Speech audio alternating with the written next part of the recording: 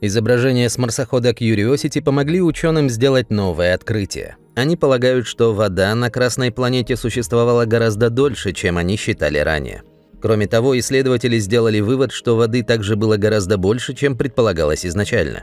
Фотографии помогают исследовать породу на планете в мельчайших деталях, включая ее химический состав. Самый недавний отчет подготовили исследователи из НАСА и Имперского колледжа Лондона. Они изучали фото, которые Curiosity прислал в апреле 2022 года. Ведущий автор исследования – доктор наук Стивен Бенхэм. Он говорит, что удалось обнаружить необычные образования в камнях, а также отложениях в неожиданных местах кратера Гейла, которые марсоход Curiosity исследует более 10 лет. Мы понимаем, что в ранней истории Марса была вода, но затем примерно 3,7-3 миллиарда лет назад Марс высох. В то же время жизнь возникла на Земле.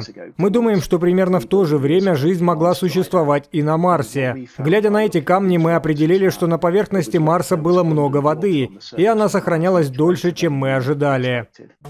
Кратер Гейла имеет диаметр в 154 километра. Он расположен к югу от марсианского экватора.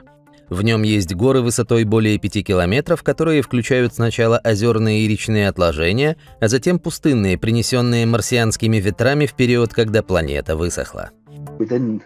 Внутри этого песчаника мы находим элементы, свидетельствующие о наличии воды. Это почти самые ранние отложения кратера, образованные водой.